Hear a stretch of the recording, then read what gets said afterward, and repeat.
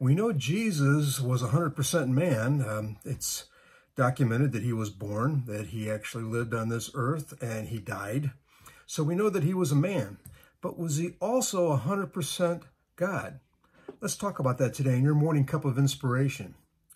You know, over in uh, John 1, 1 through 3, it tells us that Jesus existed from the beginning, from the beginning of time.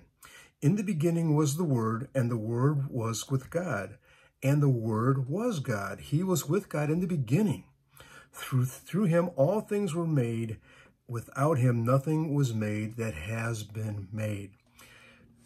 Jesus was there from the beginning. And why do we know that? Because he was called the Word. The Word became flesh and made his dwelling among us. This tells us in John 1.14. So his name was the Word. We have seen his glory, the glory of the one and only who came from the Father, full of grace and truth. Okay, so Jesus was human, but then he was also from God.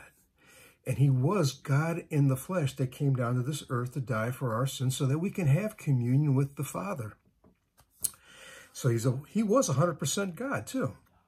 Over in John 8:58 it says, Very truly I tell you, Jesus answered, Before Abraham was born, I am. Another name of God. There's several names for Jesus. And was I am. There was I am the Word. Uh, he was the light. Um, he was the Good Shepherd. Uh, these are all names. But it says right there, names of God says right there that he was at the very beginning. John 10, 30. I am and the Father are one. He says it right there. I and the Father are one.